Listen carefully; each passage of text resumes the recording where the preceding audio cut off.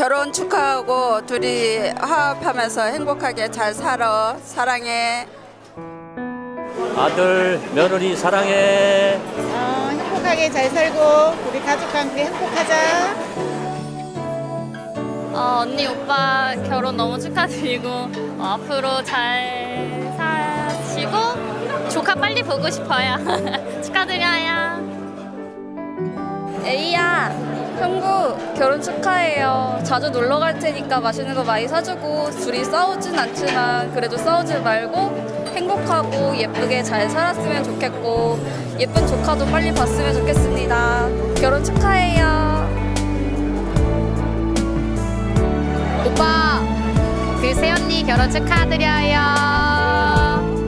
I love you. 이쁜 대학교 동기 친구 네가 이렇게 다 커서 내가 키운 건 아니지만 친구로서 우리가 다 큰 성인이 돼서 드디어 결혼을 하게 됐구나. 어, 네가 식 올릴 때 눈물 흘릴 때 나도 갑자기 마음이 벅차 올라서 같이 눈물이 났어. 오늘 제일 이쁜 신부니까 기쁜 날이니까 울지 말고 신랑분이랑 같이 즐거운 여행 잘 다녀오고 신혼여행 다녀와서 우리 또 한번 보자. 이쁘게 잘 살아. 사랑해. 하트 하트 하트. 안녕하세요.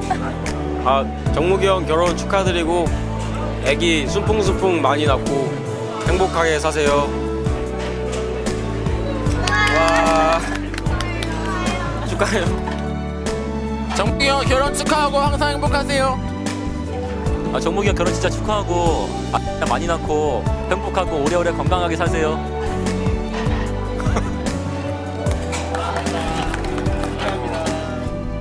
정국아 일단 결혼 축하하고 어 우리들 같이 한번 끝나고 꼭 모이자 모이자. 그리고 정말로 행복한 결혼 되길 진심으로 바란다.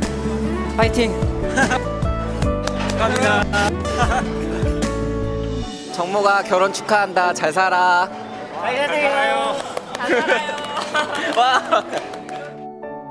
에이야, 결혼 축하해.